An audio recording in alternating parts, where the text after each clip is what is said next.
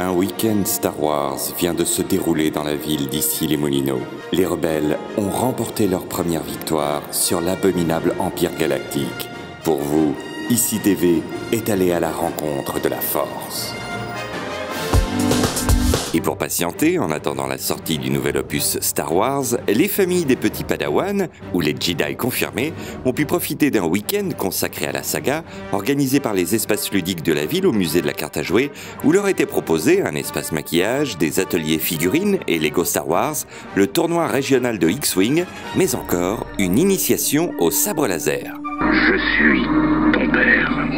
On est là pour transpirer, on est là pour s'amuser, avec une culture que tout le monde connaît, donc c'est encore plus amusant. On ouvre euh, à la rentrée 2015 la toute première académie de combat au sabre laser en France. Donc euh, ça va ouvrir à Paris, à Orléans et à Antibes. Donc voilà, donc ce sont des vrais cours de combat au sabre laser qui sont dispensés. Et en attendant le nouvel épisode de la saga, Que la force soit avec toi, Luc